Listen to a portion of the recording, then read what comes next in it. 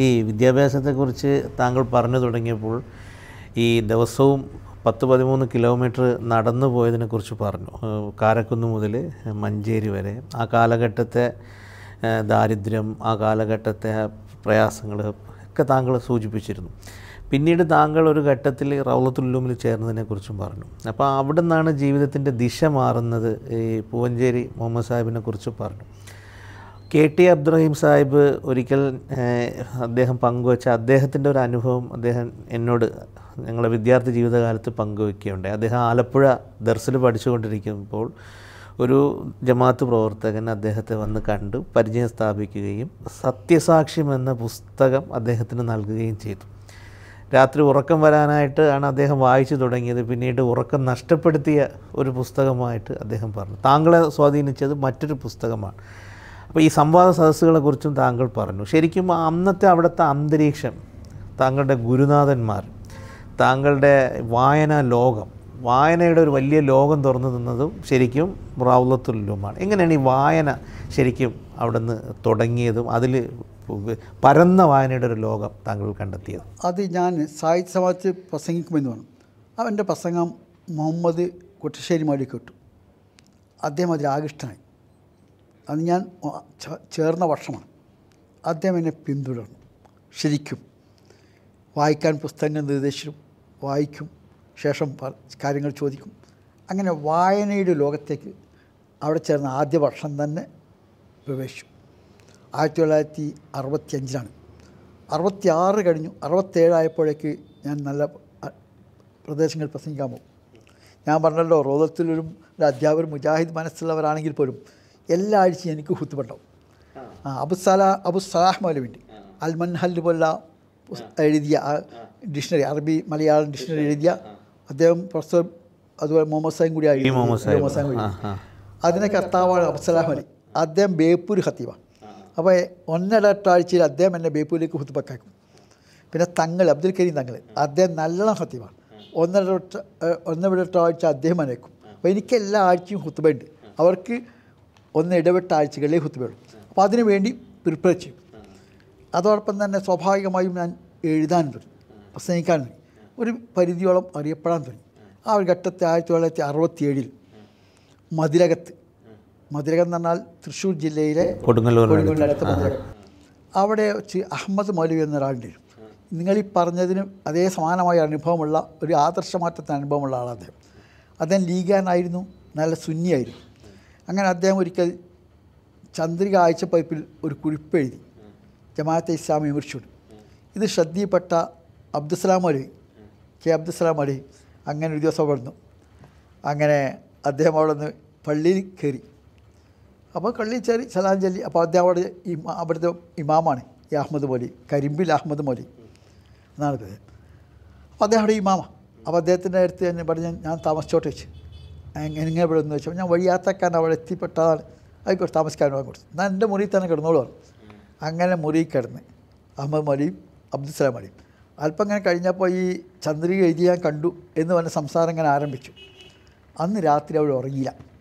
ജമാഅത്ത് ഇസ്ലാമിയെക്കുറിച്ചുള്ള സംഭാഷണം വഴി നേരെ വിളിക്കുന്ന ഒരു സംഭാഷണം ചെയ്തു. പിറ്റേന്ന് അഹമ്മദ് മൗലവി ജമാഅത്ത് ഇസ്ലാമിക്കാനായി മാറി. അബ്ദുസലാം മൗലവിയുടെ ഒരൊറ്റ ദിവസത്തെ രാത്രിയുടെ സംഭാഷണമാണ് അഹമ്മദ് മൗലി കരിമ്പൽ അഹമ്മദ് മൗലിയെ ജമാഅത്ത് ഇസ്ലാമിക്കാനാക്കി അപ്പോൾ അദ്ദേഹത്തിന്റെ കുടുംബമൊക്കെ ജമാഅത്ത് കുടുംബമാണ്. അപ്പോൾ അവരൊക്കെ ആ കുടുംബത്തിൽ ആ കുടുംബം പിന്നീട് ഇസ്ലാമിക ഇസ്ലാമിക പ്രസ്ഥാന കുടുംബമായി മാറി. അപ്പോൾ സ്വാഭാവികമായിട്ടും അദ്ദേഹം അവിടേക്ക് തന്നെ ക്ഷണിച്ചു.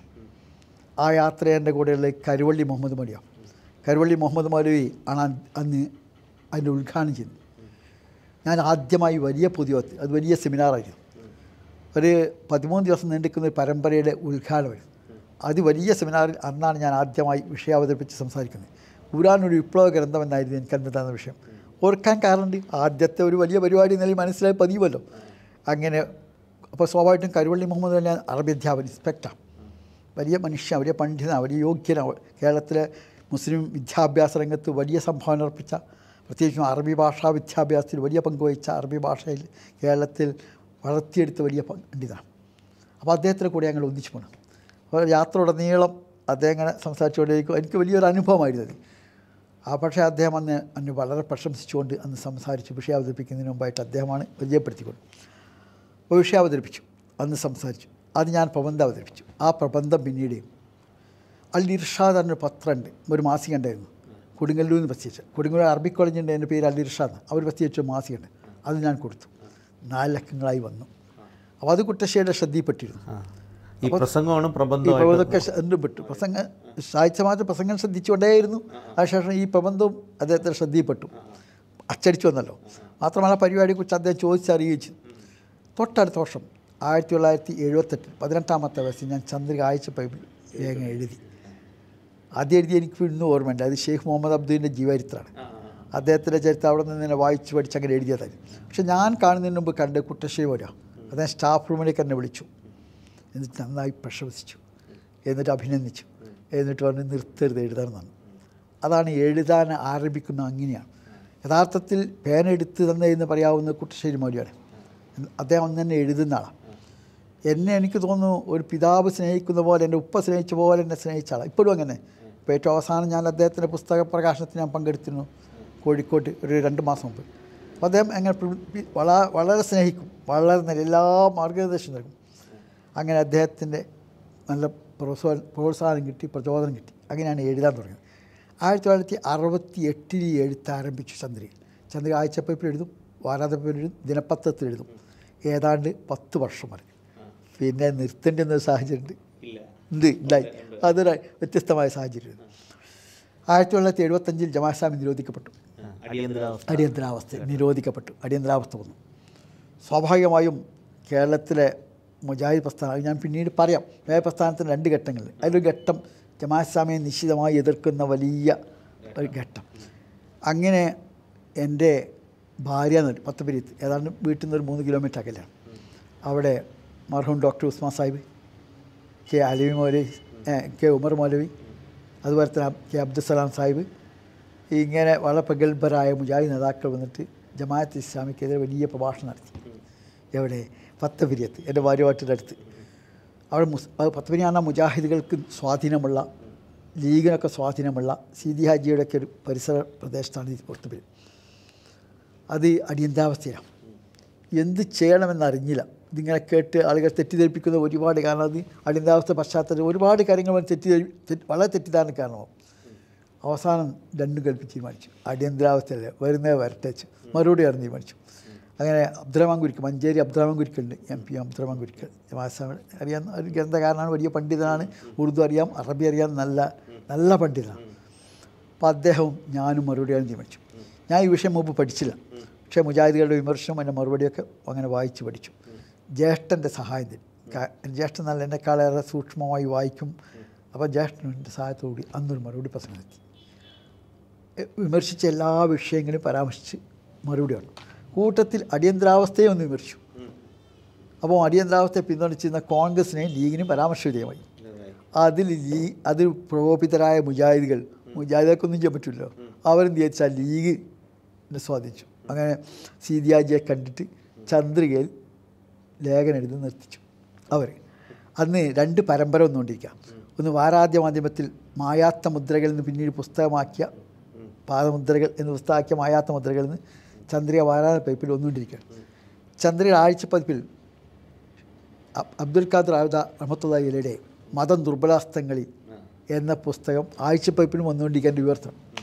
ആ ഘട്ടത്തിൽ പാതി വെച്ച് രണ്ടും നിർത്തി. അങ്ങനെയാണ് ചന്ദ്രികയുമായുള്ള യഥാർത്ഥത്തിൽ തന്നെ വളർത്തിയെടുത്തി വലിയ പങ്ക് വഹിച്ച ചന്ദ്രിക. ചന്ദ്രികയുമായുള്ള ബന്ധം അറ്റുപോകാൻ കാരണം ഞാനല്ല. അവിടെ ഈ ഒരു സംഭവം കാരണം നിന്നുപോയി താങ്കൾ എഴുത്തിനെ കുറിച്ച് പറഞ്ഞു. താങ്കളുടെ എഴുത്തിൽ കാണുന്ന ഒരു വലിയൊരു പ്രത്യേകത സാധാരണ കാണുന്ന ഒരു ഒരു മതകീയമായ എഴുത്തിലുപരി ഒരു പരന്ന വായനയുടെ ഒരു ലോകമാണ്. ഈ എഴുത്ത് ശരിക്കും ഈ പരന്ന വായന നോവലുകളാകട്ടെ കഥകളാകട്ടെ വിശ്വസാഹിത്യത്തിലെ ക്ലാസിക്കുകളാകട്ടെ ഈ ഒരു വായനയ്ക്ക് ശരിക്കും അന്നത്തെ അന്തരീക്ഷം എത്രത്തോളം സഹായകമായിരുന്നു? അത് പ്രത്യേകം പറയാൻ റൗദത്തിലെ അന്തരീക്ഷത്തിൽ എന്നോട് മറ്റു പലരെയും പലതും വായിക്കാൻ അനുവദിക്കില്ല പക്ഷേ എന്നോട് കുട്ടശ്ശിമാർ രണ്ട് കാര്യം പറയും. ഒന്ന് കവിത വായിക്കണം നല്ല നോവൽ വായിക്കണം. നല്ല ലേഖനം വായിക്കും. മാതൃമി വായിക്കും. ആഴ്ചപ്പതിപ്പെന്ന് വായിക്കും. അതുപോലെ തന്നെ മലയാള നാട് വരികയുണ്ട്. മലയാള നാട് വരിക അങ്ങനെ നിലപാടിലല്ല. പക്ഷെ അതിൽ അന്ന് മാധവി മാധവിക്കുട്ടി എഴുതുന്ന എന്റെ കഥയൊക്കെ വന്ന കാലമാണ്. അതായിരുന്നു. അതെ, സാധാരണഗതി വായിക്കാൻ അനുവദിക്കുകയില്ല. പക്ഷേ എന്നോട് അതൊക്കെ വായിക്കാനാണ് പറയാം. അത് വായിക്കാൻ പറയും. കവിതകൾ വായിക്കാൻ പറയും. നോവലുകൾ വായിക്കാൻ പറയും. അങ്ങനെ ആ കാലം നല്ല എന്താ പറയുക ഒരു അനുഗ്രഹീതമായ കാലം നല്ല ധാരാളം പുസ്തകങ്ങളുണ്ട്. ഫാറൂഖ് കോളേജ് ലൈബ്രറി ഉണ്ട് അധ്യാപകരുണ്ട്. അങ്ങനെയാണ് യഥാർത്ഥത്തിൽ വിക്ടോറിയുടെ പാവങ്ങൾ മാക്സിം ഗോർക്കിയുടെ അമ്മ. ഇങ്ങനെയുള്ള പുസ്തകങ്ങളൊക്കെ വായിക്കാൻ അവസരം കിട്ടിയ ആ ഒരു കാലത്തിലൂടെ കടന്നു വരുമ്പോഴാണ് അപ്പോൾ ധാരാളമായി ഒന്ന് വായിക്കാൻ അവസരം കിട്ടി. ഇത് ആ വിദ്യാർത്ഥി ജീവിതകാലത്ത് കിട്ടിയ വലിയ നേട്ടമാണ്. ആ വായനയിൽ സ്വാഭാവികം ഞാൻ അന്നും ഇന്നും ചെയ്യുന്നൊരു കാര്യമുണ്ട്. പിൽക്കാലത്ത് ഉപ ഉപകരിച്ചേക്കാമെന്ന് തോന്നിയേക്കാവുന്ന കാര്യങ്ങൾ കുറിച്ച് വെക്കുമായിരുന്നു. അന്ന് വായിക്കുമ്പോഴൊക്കെ പിന്നീട് കാരണം ഞാൻ തൊള്ളായിരത്തി അറുപത്തേഴ് മുതൽ പതിനേഴാമത്തെ വയസ്സ് ഇസ്ലാമിക പ്രസ്ഥാനവുമായി ബന്ധപ്പെട്ടല്ലോ. ഇസ്ലാമിക പ്രസ്ഥാനവുമായി ബന്ധപ്പെട്ടപ്പോൾ അതിന്റെ ഒരു ചക്രവാളമുണ്ട്. നമ്മുടെ വിജ്ഞാന നമുക്ക് നമുക്ക് അനിവാര്യമായി വരുന്ന അറിവിന്റെ ചക്രവാളമുണ്ട് ഇസ്ലാമിക പ്രസ്ഥാനവുമായി ബന്ധപ്പെടും. അപ്പോൾ ആ മേഖലയിൽ കിട്ടുന്ന എന്തായാലും അത് കുറിച്ചു വെക്കും. ആ കുറിച്ചു വെക്കുന്നത് പിന്നീടെല്ലാം എഴുതാനും പ്രസംഗിക്കാനും ഏറെ ഉപകരിച്ചു. പിന്നീട് എന്ത് ചെയ്തു വെച്ചാൽ എഴുത്തിന്റെയും പ്രസംഗ പ്രത്യേകിച്ചും പ്രസംഗത്തിന്റെ നോട്ട്സ് ഉണ്ടാവും. ആ നോട്ട്സും ശേഖരിച്ചു വെച്ചു. അതെനിക്ക് മാത്രമല്ല എന്റെ നാട്ടിലെ എന്റെ കൂട്ടുകാരായ പലർക്കും ഉപകരിച്ചിട്ടുണ്ട്. ഇപ്പോഴും ഉപകരിക്കും. അവർ ചോദിച്ചാൽ കൊടുക്കും. അവർക്ക് ആവശ്യത്തിന് ഉപയോഗിച്ച് അവർ തിരിച്ചു വന്നോളും. പുസ്തകങ്ങൾ കൊടുക്കാറില്ല കേട്ടോ. കൊടുത്താൽ തിരിച്ചിട്ടുക എന്ന അനുഭവം പഠിപ്പിച്ചു. അവൾ പുസ്തകങ്ങൾ കൊടുക്കാറില്ല. ഈ നോട്ട്സ് കൊടുക്കാറില്ല. പുസ്തകം നല്ല പുസ്തകങ്ങളൊക്കെ കൊടുത്ത് പലതും തിരിച്ച് കിട്ടിയിട്ടില്ല. അതുകൊണ്ട് പുസ്തകം പറഞ്ഞ് കൊടുക്കാറില്ല. വളരെ നിർബന്ധാവസ്ഥ കെട്ട് കൊടുക്കും. പക്ഷേ വളരെ നിബന്ധന വെച്ചേ കൊടുക്കുള്ളൂ. പൈസ വായ്പ വാങ്ങിയാൽ ആളുകൾ തിരിച്ചു തരും. മറ്റെന്ത് വായ്പ വാങ്ങിയാലും തിരിച്ചിടും പക്ഷേ പുസ്തകം വാങ്ങിയാൽ തിരിച്ചു കിട്ടാൻ വളരെ പ്രയാസം. അതൊരു പുസ്തകം കൊടുക്കാറില്ലപ്പോൾ എന്നതാണ് ശരി. അപ്പോൾ പുസ്തകം അന്ന് സ്വാഭാവികമായിട്ടും ആ വായന ഉപകരിച്ചു നോട്ട്സ് എടുത്തു. ഇതാണ് പിന്നീട് ഉപകരിച്ച വലിയ ഒരു കാര്യം. ഈ വായിക്കുക എന്ന ആഹ്വാനമാണ് ഖുർആന്റെ തുടക്കം.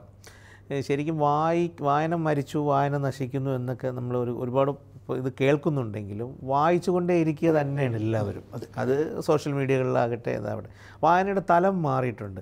അപ്പോൾ ഇപ്പോഴും ഈ സമകാലികമായി വരുന്ന പുതിയ പ്രവണതകൾ സാഹിത്യത്തിലാകട്ടെ ചിന്തകളിലാകട്ടെ പുതിയ എഴുത്തുകളിലാകട്ടെ. ഇപ്പോഴും അക്കാലത്തെ വായനയും ഇപ്പോൾ അക്കാലത്തെ വായനയും തമ്മിൽ താങ്കൾ അന്നു മുതലേ വായിച്ചു തുടങ്ങിയ ഒരു വ്യക്തി എന്ന നിലയ്ക്ക് എങ്ങനെ കാണും?